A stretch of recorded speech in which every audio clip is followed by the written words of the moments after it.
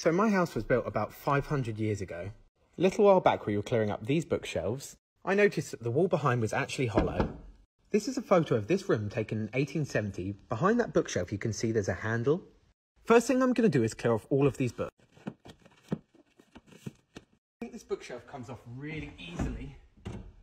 Now this is all done, I can see that there are actually some screws I need to take out now. So we got all the screws out, now we're going to see what is behind this door. Oh my god, what is... So I've just pulled up this board and there seems to be a hole that leads to another room. There's also this really creepy staircase that leads up there. So I made it upstairs and the first thing I saw was this massive wasp's nest. So this room is actually huge. My light won't even reach that far. Looks like something's moving over there. I can see some steps over there, so creepy. I'm running out of time, so I'll post this in the next video, but I can actually see a proper door down so we're back for a part two of seeing what's in the hidden room behind the bookshelf. Before then, I thought I'd show you one more cool feature. In this photo taken in 1870, you can see double doors leading outside from the library. These doors are still here but hidden. So the mirror actually slides to open into a conservatory that was built as an extension in 1844 for £6,000 back then. So I had to go through the same process by removing the bookshelf to open up the door behind again. I've got myself a massive light now and we're going to try and go through this hole. So there's a room in there a room down here. There's this as well, but it looks like a dead end. I've decided to go down this one. I was searching around and I found all these like old books. On the cover it says 1851, but I don't know. So I've come from over there, I found this door here, and then there's one down here as well. I think my light may be running out a bit. Thank God I'm not claustrophobic. I found this corridor here and these stairs, but they're blocked off. This looks like an old boiler, and I can hear the new boilers above. I've actually found an old safe. Let me know if you guys want me to try and open this. So we're back for a part three of seeing what's in this hidden room behind the bookcase. So we're back again, trying to open the safe. I brought Jack along with me. He's got his blowtorch, he's got all these tools. We're gonna see if we can get it open. So someone's already cut off the door handle to this safe. So we're just gonna give it a go with some pliers. So Jack's gonna have a go drilling through this keyhole right here. So we found this on the back it just makes me want to open it even more. Seems like we're making some progress.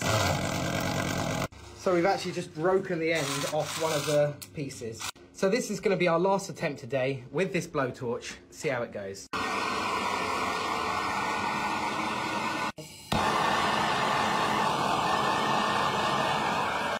Come back for the next video, guys. Does anyone have any suggestions on how we can open this safe? Now we're just going to get out of here.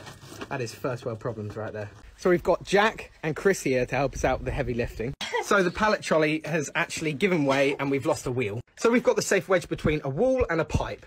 Made some progress. Now we just have to get it upstairs.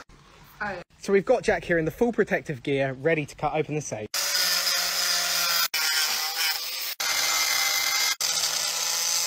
So someone suggested to throw a hammer at it.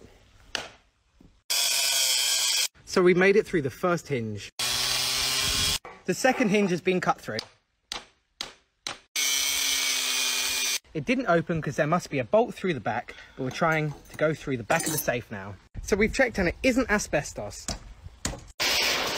So it's about three inches thick. So we finally made it through. So we finally cut through the bolt.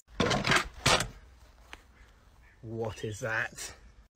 So we're back for the final part of seeing what's inside the safe that was in the hidden room. In the end, I did manage to get out the lockbox. First off, here are a few books that I found. This one was tucked right at the back and dates back to 1848. They both contain lots of information on the house. So this is actually a piece of floorboarding. This lord here was actually the Earl of Galloway. It then goes on to say the name of our house and then the date at 1807. So in the lockbox, we didn't find anything of huge monetary value, but we did find these old letters. So I actually sent this letter off to be analysed. So this letter was written while he was visiting my house. It was addressed to his estate that you can see in the photo, Castle Ashby. In the letter, he writes that he's fallen very ill during his travels and for his land agent to look after his estate. Here you can see the postal stamp dated 1837. His net wealth would have equated to billions of pounds now. I'm sorry if this wasn't as exciting as everyone was hoping for, but I wanted to keep it as truthful as possible. Make sure you follow my Instagram for updates and history of the house.